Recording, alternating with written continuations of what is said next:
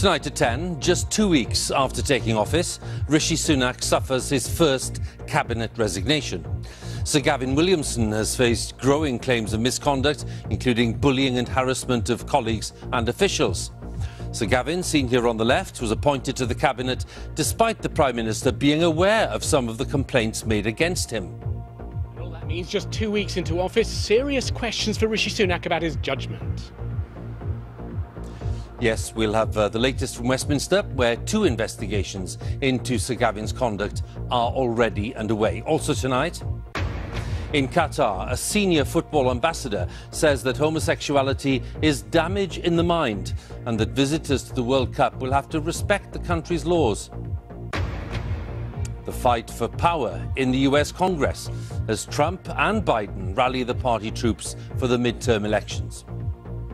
Ding dong, you're not wrong. And Leslie Phillips, best known for his roles in the Carry On films, has died at the age of 98. And coming up on the BBC News Channel, a losing start for Britain in the Billie Jean King Cup. In their open with Kazakhstan, it means they could face an early exit in Glasgow.